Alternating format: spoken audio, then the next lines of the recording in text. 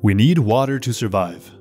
But every day, finite freshwater resources are used and discarded through unsustainable industrial production. It is especially important to reduce the impact of water intensive industries such as clothing. For example, on average, it takes 2,700 liters of water to make a simple cotton t shirt.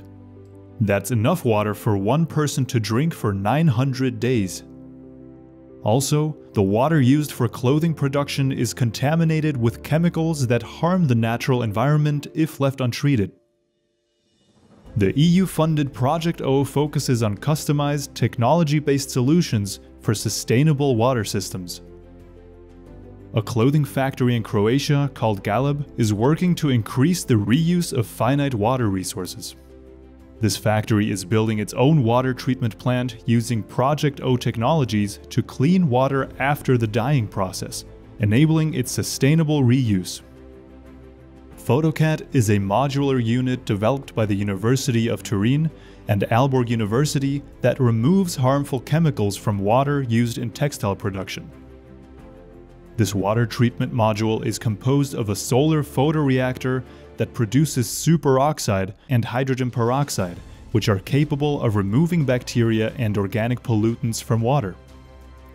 In addition, the module is equipped with a nanofiltration unit where nanoporous membranes reduce and recover salts from the water.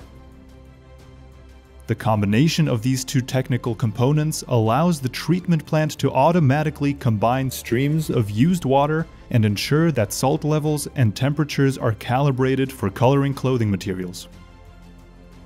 These targeted treatments enable water reuse and boost energy efficiency because the treated water is ready for clothing production.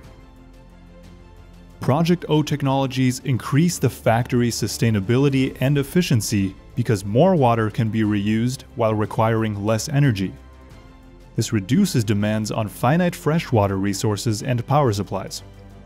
Project Ô is showing how locally targeted water treatment solutions can improve sustainability for more information about Project Ô's tailored water sustainability solutions in Croatia, Israel, Italy, and Spain, visit our website and sign up for updates.